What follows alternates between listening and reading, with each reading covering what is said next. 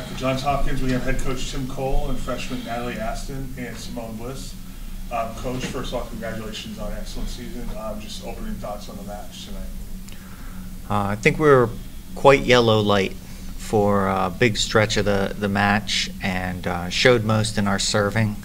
Uh, there were probably some feelings of relief on uh, the SWAT side that uh, not only did we miss a lot, but uh, the serves that we did put in uh, were on the softer side. And to their credit, they handled them well, ran a nice offense, diversified well, uh, did a nice job uh, finding options other than uh, Den and Wallace, who have carried them so far.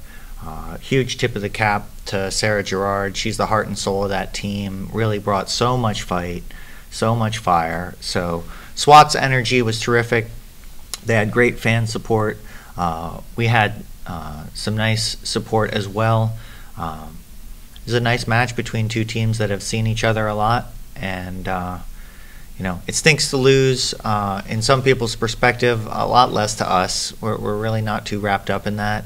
Uh, but this was an opportunity for us to spend more time together, and that is the loss, and that is what we, we are feeling some some sorrow about, and uh, most of all, it stinks to lose when you don't bring your best. Uh, but that's that's something to learn from and something to put in our bank uh, for the future.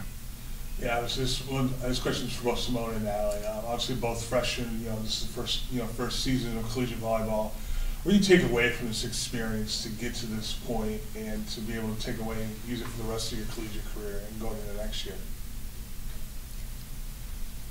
Mm, I guess that um, well, our program is really like just a big family, and that's a, a big change from regular like from like high school volleyball or before you get to college volleyball. Our program is like especially unique in that we're not off the court and on the court. We're a family. We take care of each other, um, are on each other, make sure we're all about our mission and what we our goals are and what we really want to do. And so that's like my biggest takeaway is that um, all the ways that I can do everything that I can to be all in for our team mission.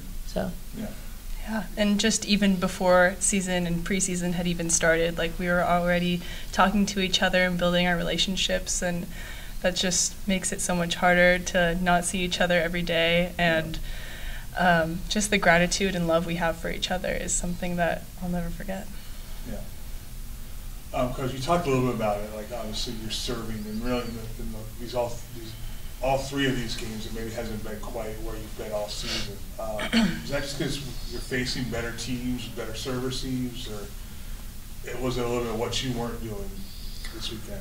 Yeah, you know, I think it maybe is more politically correct or fashionable to be like those other teams really neutralized us, but uh, we came out with our tail between our legs for the last three sets and have been walking on thin ice. Uh, a lot of errors and a lot of soft serves, like I said pretty yellow light most of the time. Uh, some some spurts of good quality, and uh, that's a part of the game too. You know, our opponents weren't green light every moment of every. They, you know, this is college athletics, and uh, we're an elite program, and the fluctuation in everyone's performance is what makes it so uh, sensational to watch sometimes. You, you don't know what's going to happen, and that's part of the joy of it and part of the growth opportunity for us to strive even when we're not feeling great, even when things aren't rolling our way.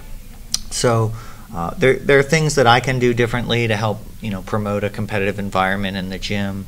Uh, a lot of it, you know, might go under the large umbrella of just experience, you might say. Liz certainly is a champion on the line. You know, my mind goes back to last year uh, in the fourth set of the NCAAs against Juniata. You know, she continued to rip the ball, and, and she was great today as well. Uh, she still couldn't quite get it going as, as much as she has earlier, and I think against SWAT in particular, they were pretty used to her serve. Um, but she also just did bring her best quality. That's all right. There's variance. There's fluctuation in performance.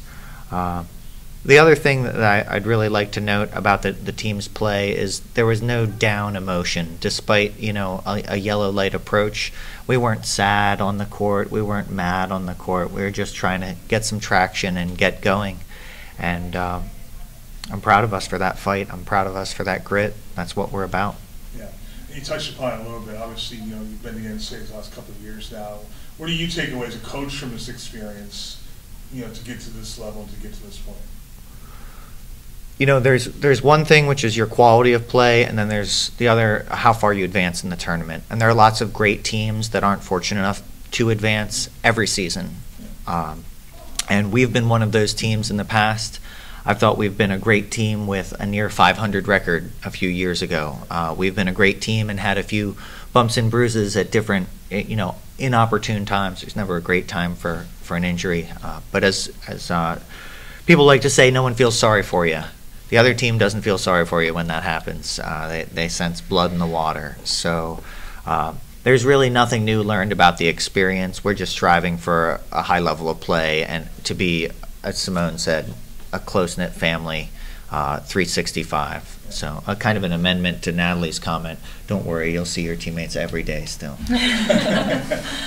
All right, great. Thank you very much. Thank you.